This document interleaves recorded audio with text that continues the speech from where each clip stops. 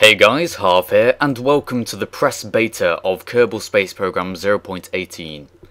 We're going to take a look at some of the changes, including that, which is freaking cool. I love that so much. So this is going to require a fresh install, none of your mods, none of your old saves are going to work. I don't think old saves work at least. And um, it's actually completely different from 0.17.1, which is a very good thing. If we take a trip into the vehicle assembly building, you'll see everything's been reorganized. The whatever this is called, the thing that lets you choose whether you want to do it circular or octagonal. uh, I'll be able to find out as soon as I choose a command pod. And there are so many more command pods as well, like the MK2 lander can, which allows two people to be in there, which is great and um, I think there's actually I've actually just noticed this option which is minimum crew to operate. So presumably there's going to be some things where you're going to require more than one person to operate it. That is going to pose some interesting challenges. But anyway let's take a quick look at some stuff. And no we don't want that one. So if we go back take our regular command pod the parts have been completely reorganized which is both a good thing and a bad thing because everything feels so much more professional now and looks so neat and tidy, but I can't remember where half my old parts are. which is pretty annoying in some cases, but um, yeah, yeah, I'll make do. So, one of the most, one of the biggest things I've noticed in terms of things being reorganized is the fact that the all the aero associated parts are now put within the aero tab which is an interesting idea and I think it's one that's been that was probably made as soon as they did the opposite. Because you don't really use standard control surfaces in any other place than space planes. So one thing that I'm sure is all on your minds is docking. Now, I do not have time to go through everything to do with the updated version. You can have multiple command pods. Well, that's, that's amazing. But I don't have time to go through every single new part and all that. Might do eventually, but the press release is actually a limited thing, I believe. So, let's build ourselves a simple ship and go into the flight menu and see what has been changed and in the process of building a simple ship, we find this, the Mark 25 parachute, which is more of a drogue parachute, as in it's not intended to stop you from smashing into the ground, but it does help slow you down and tilt you in the correct direction, if you want that. So we're just going to go with the standard parachute, hasn't changed much. The decouplers, everything's got new textures, that is a big decoupler. everything's got new textures I believe, you can see those are actually thinner, which is a nice addition because they did seem unnecessarily big, I think. Let's add ourselves onto... This is the, uh, the new tank. God, look at that. This, just looking at that gets me excited. Let's make ourselves a standard rocket, eh? Let's make ourselves a standard rocket. So if we take the 400 fuel tank, which is our standard thing, and before no noting how different it looks, we'll actually take the SAS module, which also looks very different. Steadler Corp. That's the, actually the company that made it. And let's slap ourselves on with, see if we can get a new engine. There is a new engine somewhere. This is ridiculously small because you can have unmanned probes now, which is nice. If you look here, there are some unmanned probes, such as satellite cores, Pro Probo Body Knee, I think that says. I, I don't know. Let's see if there's any new engines. The liquid. This is actually a retexture of the regular vectoring engine, so we'll use that. Looks beautiful. And one thing that is absolutely wonderful, I used to have it in a mod until I got rid of it for reasons. Now we have the shrouds. Absolutely brilliant. Shrouds are so useful. Ridiculously useful, in fact. Love them. Love them, love them, love them. Okay then let's see. Let's put on that tricoupler, retexted tricoupler, shall we? Come on, come here. Click and move.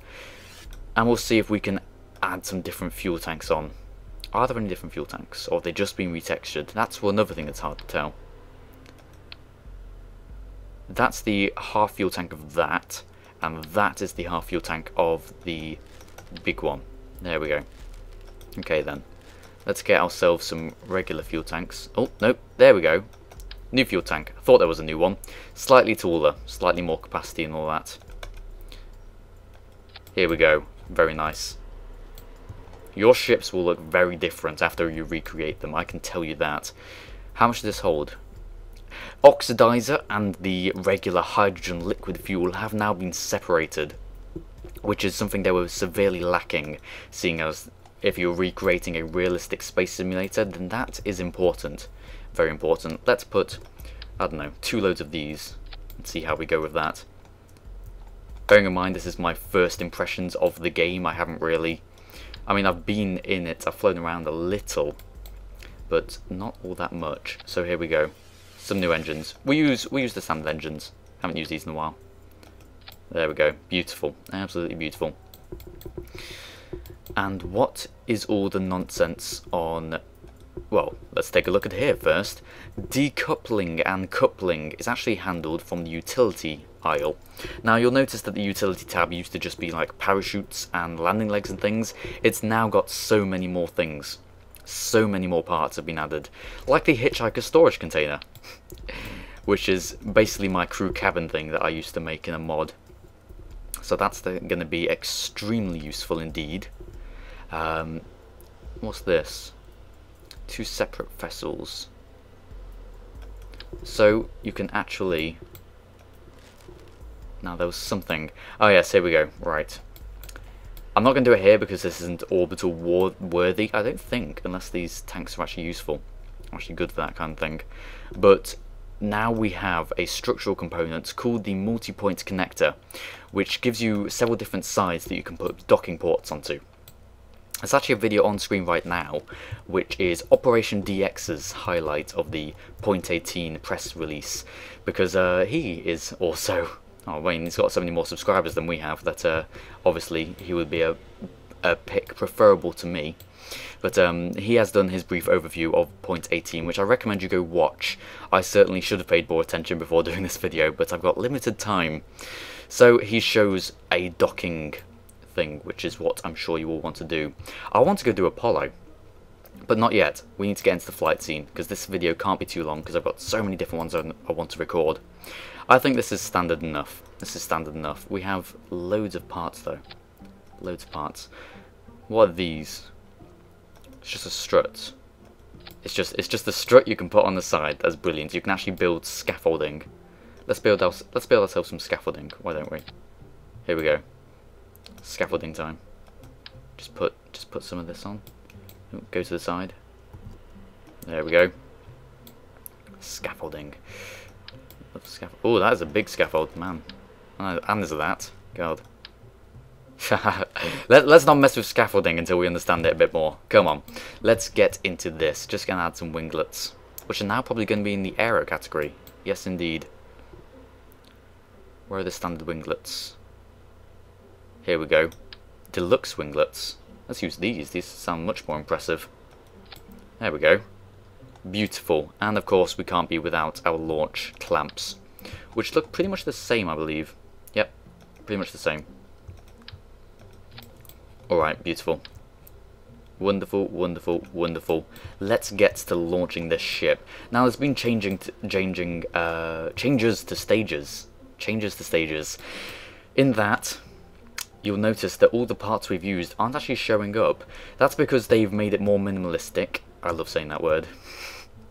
and only the activating parts, as in the useful parts, like engines and decouplers, and recouplers in the case of docking ports and things like that.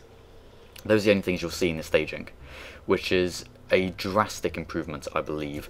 Let's call this let's call this first ever, because this is the first ever ship I've built in the game. And let's have a look at the flight scenario. I, I didn't build that. That that was uh, just come on. it's actually a stock ship, and they haven't been changed awful much, which is a shame because I wanted to see how to implement the new ion engines and things. With concerns to fuel, yes, oxidizer and liquid hydrogen have been separated, so we get the readouts for the two different ones. Man, look at this. Look at this. And in addition to that, uh, what's been added? Electricity has also been added. Up here we have our resources tab. and we can see that as soon as we hover over one of these, we get different loadouts which tell us how everything is doing. So if we look at the electricity, the electrical, uh, the command pods, command pods generate electricity. So it's currently 50 out of 50, which I presume will go back up once you use some. Uh, SAS modules actually use a little, I think. Do they? I don't know, I guess we'll find out. Uh, liquid fuel, we can see that, and oxidizer, we can see that. More oxidizer than fuel. That's something basically you need to know. Stage only, what does this mean? Not entirely sure about that. But anyway, let's get into flying. The game has been optimized yet again, which I am extremely happy about. You'll see that the topography of Kerbin, either the topography's actually been changed, or the textures. I think what might have been changed is just the textures, to be honest. Look at that. Now that is a cool sight. Very cool indeed. now you'll notice when we detach, this shroud actually disappears. Well, it doesn't disappear, but, you know, it comes off, which is great. Awesome. Absolutely awesome. So let's re-enable the UI. Now, what's up here? I think we can select gears and things from up here. So if I had any gears, they would automatically open and close. Lights, landing lights have been added. I haven't had time to play with them. Damn, I should have added them to this ship, shouldn't I? Oh well, come on, let's finish getting to orbit so we can have some time to talk. And firing. Haha. oh, wait, not steady. Not steady at all. There we go. Right, let's have a look at the map view. Ooh, very high. We'll get into a polar orbit at 180. Wonderful. Time warping. I'm not sure if they've changed the boundaries for time warp. There was some discussion as to that, but I'm not entirely. I don't entirely remember what the response to the myths that they have been changed was. But um, there was. I think they might have changed it slightly. Mm, there we go. Got into our orbit. And we're going over the poles very soon, so we might get that camera switch. Is there anything else I can highlight in this video, because it's gone on for long enough. This is just a brief thing, basically saying, look at this! It is amazing! Kerbal Space Program 0.18 is one of the best updates yet, I think. Thank you very much for watching, guys. I actually have a Steam community group set up if you'd like to join that. The uh, the HTTP, uh, the URL for that is in the description. And I can assure you, I will be playing Kerbal Space Program almost, almost to it till it kills me. This is wonderful, absolutely wonderful. Okay, guys, I'm going to go away and record a more informative video. I do apologise if this wasn't particularly interesting. It was just kind of me having an orgasm. I'll see you next time.